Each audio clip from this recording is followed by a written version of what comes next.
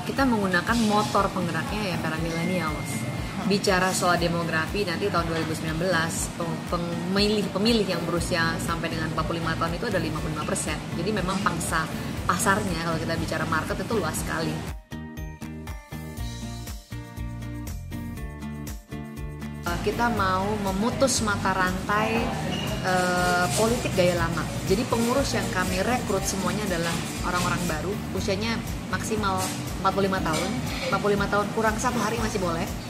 Uh, untuk ketika dia pertama kali bergabung jadi pengurus, kemudian nggak boleh pernah menjadi pengurus harian di partai mana pun.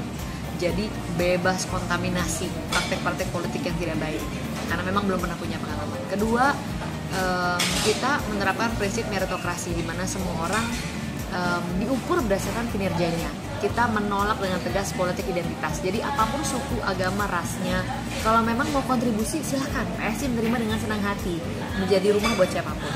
Lalu ketiga, politik partisipatif. Karena kita selalu bilang bahwa politik itu mahal, mahal, mahal. Ya memang bisa mahal kalau mau dibuat caranya mahal gitu tapi e, kalau kita tanggung bersama-sama cost dari politik itu kan jadi murah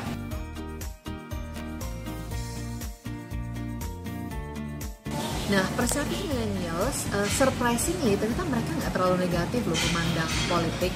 Uh, mungkin uh, belum punya akar-akar kepahitan kayak generasi di atasnya yang sudah terlanjur uh, terlalu banyak melihat banyak tokoh-tokoh partai misalnya tersangkut kasus korupsi dan sebagainya. Jadi berdasarkan pengalaman kami sendiri nih kalau kami melempar materi-materi uh, baik pendidikan politik ataupun campaign di media sosial, respon yang paling bagus itu sudah datangnya dari para milenial yang usianya uh, antara 15 sampai dengan 25 tahun. Kalau udah 30 tahun ke atas itu responnya langsung anjlok gitu. Jadi uh, ini mereka nggak terlalu negatif memandang politik. Mereka masih mau mau tahu gitu mau mendengar mau nonton sampai habis baru kemudian mereka memberikan judgement jadi mereka uh, dari yang kami temui selama ini cukup terbuka ternyata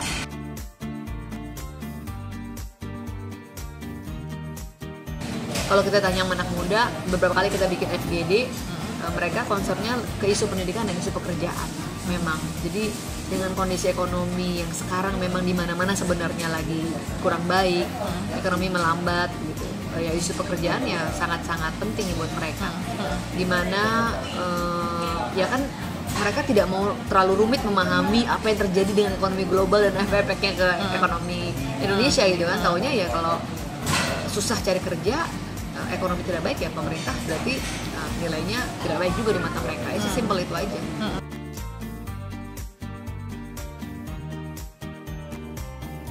Lebih gimana ya kalau di daerah itu uh, kan mungkin ter terkait juga dengan sarana dan prasarana internetnya sih mbak.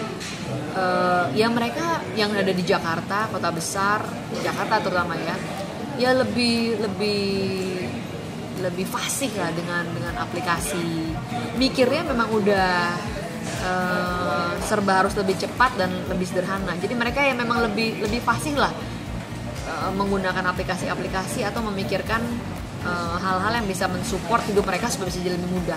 Kalau di daerah menuju ke sana sih, cuman uh, belum seperti uh, kayak Jakarta yang kita lihat. Bahkan uh, yang bikin kita kaget juga, ini kan pengurus semuanya anak muda nih.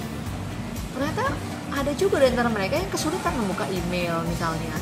Ini kita sampai buat modul, modul inter menggunakan media sosial dasar. Kita sampai bikin modul. Jadi, jadi literasi ya? Iya jadi surprising nih ternyata meskipun sama-sama anak muda uh, keterampilan mereka menggunakan media sosial itu nggak nggak nggak seragam.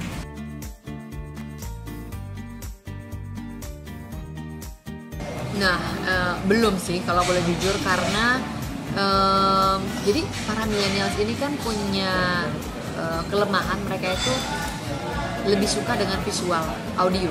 Mereka udah semakin malas membaca. Uh, di semua kementerian rasanya uh, kita belum melihat materi-materi itu banyak diproduksi mem mengedukasi publik kan sebenarnya. Yang penting kan pesannya nyampe. Nah, ini masih masih belum. Jadi kami pun sebenarnya belajar bang. Jadi ketika kami mulai dua tahun yang lalu mencoba memberikan edukasi tentang politik kan juga nggak gampang karena politik gitu kayaknya berat banget. Nah gimana caranya menyampaikan dalam bahasa yang sederhana dan menarik? Karena kalau udah nggak menarik mereka udah nggak mau nonton kita nggak bisa apa-apa.